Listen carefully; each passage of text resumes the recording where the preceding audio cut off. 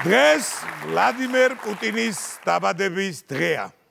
კი ვაპირებდი მილოცვას, მაგრამ ცხონებული მამაჩემი ჩიტო დამესიზვრა წუხელდა მითხრა. არ გინდაო, მამა. წელს იყოს ასე და გაისად მე მიულოცავ. მოგესალმებათ ნიკა არაბიძის შოუ. ბატონო, პუტინი რამდენის გახდა? საკმარისის.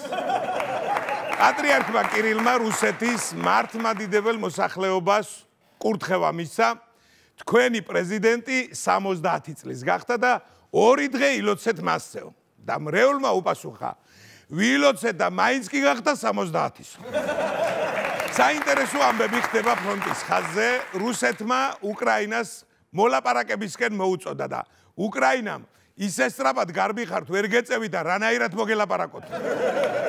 კიევში გაიხსნა სპეციალური კოლ-ცენტრი ანუ ცხელი ხაზი რომელზეც რუს ჯარისკაცებს შეუძლია დარეკონ და ნებაყოფლობით ჩაბარდნენ ტყვედ.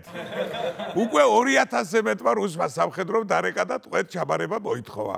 აღშფოთებული არიან რუსები. დაამატეთ ოპერატორები, რეკავდა მთელი დღე დაკავება გაქვთ. მორიგი რუსული სამხედრო ბაზის აღებისას უკრაინელებმა ხის ავტომატები იპოვეს. ანუ იარაღის ისეთი დეფიციტი აქვს პუტინს რომ ხალხს ხის ავტომატებით წვრთნის. ნახოთ ეს ფოტო. მორიდებული რომ ხარ თორე. ან მაგ ხის ავტომატები რადგიდა? რა სანადგურე ბუნებას? ჯარისკაცებს პირდაპირ ხელები გააკეთებინეთ ასე. ორი მაინც ეკნება. ვაი და ერთმა გაჭეთ, უზუსე აგერახე მეორე. ხედავ? რუსეთი რო გვაშინებდა ჩექმებს გადმოყრიდა, ისე დაგიყრობთო. თურმე მართლა ჩექმებს გულისხმობდნენ. ერთი სიტყვით რუსეთი ახლა ისეთ დღეშია რომ რუსეთსაც არ უსურვებს. აგეთ რუსეთის ყველაზე დიდი ბირთული წყალქვეშა ნავი გაქრა რადარებიდან და დაიკარგაო. არაფერიც არ დაკარგულა. ეგ წყალქვეშა ნავი გუში ნახეს ლარსე გადმოდიოდა ველოსიპედით. ამერიკის დაზვერვამ კოსმოსიდან გადაატყვა მთელი დედამიწა და ვერ იპოვა. ვაი, შენ არ მაყვალაკობდე რამეს ივანიშვილო და იმ რუსულმა გადამალულმა ნავმა სასტუმრო ავტოგრაფის აუში არ მოყოს თავი. თუ არა, ხო უნდა გადავკიდო ამერიკამ ტრა, არ უნდა გადავბუგო მექსიკიდან კანადამდე, ნამოსახს დავაგვანებ იქაურობა, შარში არ გავა. ქართული ოცნება პარლამენტში თავს აკლავს დეოლიგარქიზაციის შესახებ. ისეთი კანონი მიიღოს, რომ ბიძინა ივანიშვილი არ აღმოჩნდეს ოლიგარქი. მამუკა მდინარაძემ განაცხადა, ევროპარლამენტის აზრი რომ თითქოს და დეოლიგარქიზაცია დეივანიშვილიზაციას ნიშნავს ჩვენთვის ბიბლია კი არ არის ამანაც რაკნას იწის რომ დეივანიშვილიზაცია თუ მოხდა ავტომატურად მოყვება დემდინარიზაცია დეკობახიზაცია და საერთოდ დეოსნებიზაცია აბა თუ მართლა არ არის ბიზნე ოლიგარქი შეაგინეთ ოლიგარქებს მიდი თქვი ყველა ოლიგარქი ე გელოდები ო, ვერ ამბობ. ქართულ ოცნებას კიდევ 5 დეპუტატი გამოიყო და მან პარლამენტში უმრავლესობა დაკარგა. გილოცავთ ხალხო, ამ ქვეყანაში ძლივს ოცნებამაც რაღაცა დაკარგა. ევროსაბჭოში საქართველოს წარმომადგენლად ქართულმა ოცნებამ პარლამენტის წევრი თამარ ტალიაშვილი გააგზავნა. რაზრია კაცი პარლამენტის მუშაობას თამარ ტალიაშვილის გარეშეა. მე ვერ წარმოვიდგენ.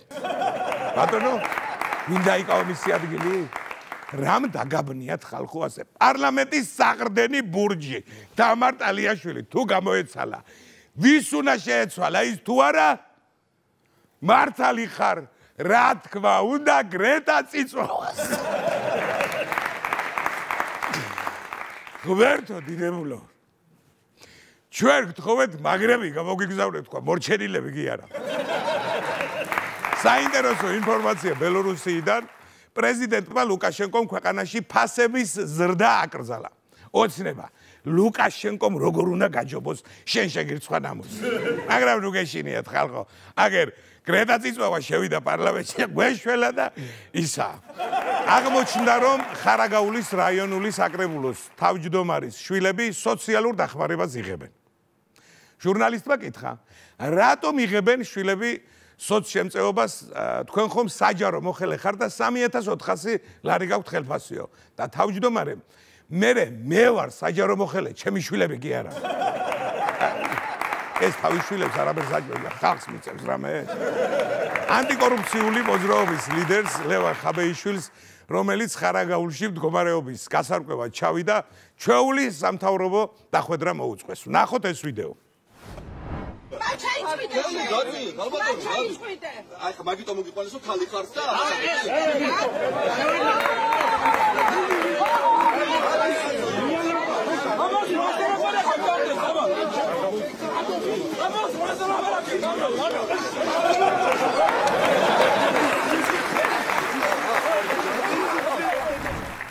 მოკლედ ისეთი ამბავი ატყდა რომ ხაბეიშვილი სამციშვილს არ აიყვანდა ხელში.